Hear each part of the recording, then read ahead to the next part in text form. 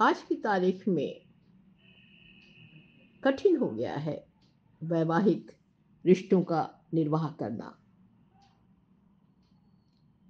भारत में पति पत्नी के रिश्ते में दरार के मामले तेज़ी से बढ़ते जा रहे हैं। हाल के एक आंकड़े के अनुसार 2021 में देश भर में जो फैमिली अदालतों में डाइवोर्स के जो मामले करीब पाँच लाख थे। 2023 में ये बढ़कर आठ लाख से अधिक हो गए।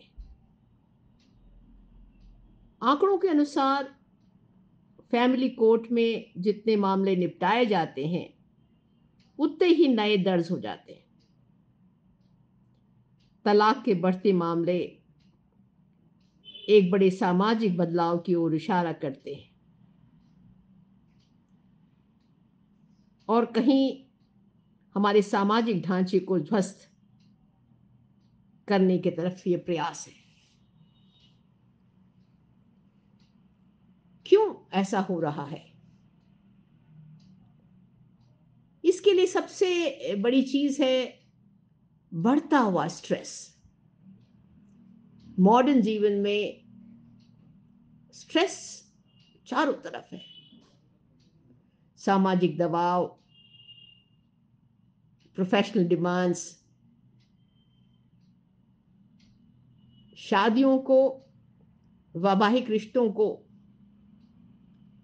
बुरी तरह से इफ़ेक्ट कर रहा है। ये जीवन पार्टनर के बीच में समस्याओं को प्रभावित कर सकता है। फाइनेंशियल प्रेशर आर्थिक दबाव।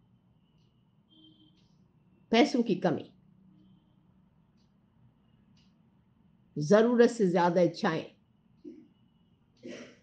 फाइनेंशियल स्टेबिलिटी का सामना करना जीवन साथियों के बीच बड़ा टकराव का कारण बन गया है। बदलते सामाजिक मान और सम्मान। समाज में बदलते मान और सम्मान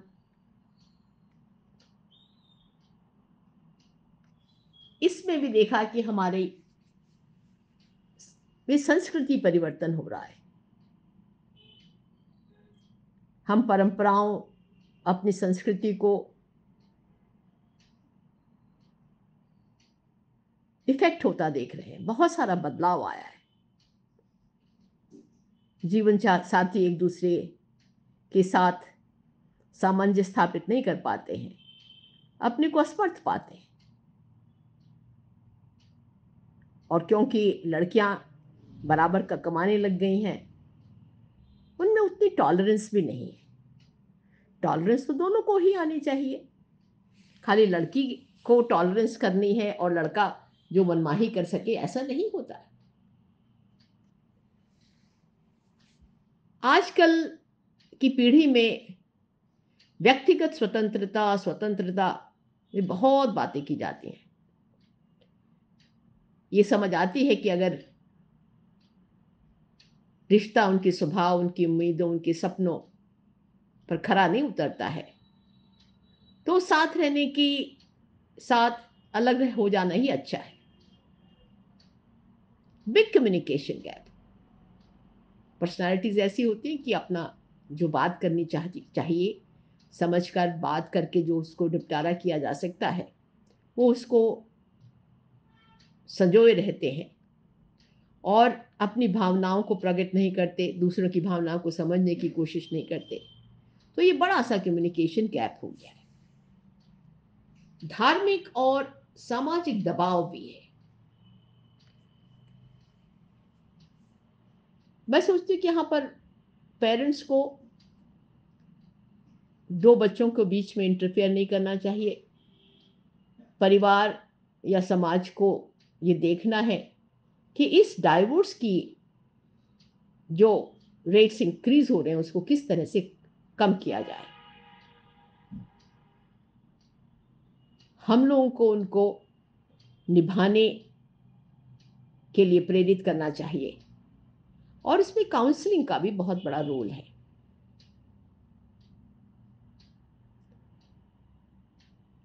आधुनिक प्रणालियों की भी कमी है। शादी में सही क्या है? काउंसलिंग की सपोर्ट नहीं है फैमिली की सपोर्ट नहीं है। तो इस तरह से देखा गया है कि आज की तारीख में कठिन हो गया है वैवाहिक रिश्तों को निभाना। इसमें अगर बच्चा बीच में आ जाए तो दोनों लोगों का उत्तरदायित्व बढ़ जाता है। विवाह एक साझा उत्तरदायित्व है। इसके लिए किसी एक पक्ष को पूर्ण रूप से दोषी ठहराना उचित नहीं होगा। तालियाँ तो दोनों हाथों से बजती है।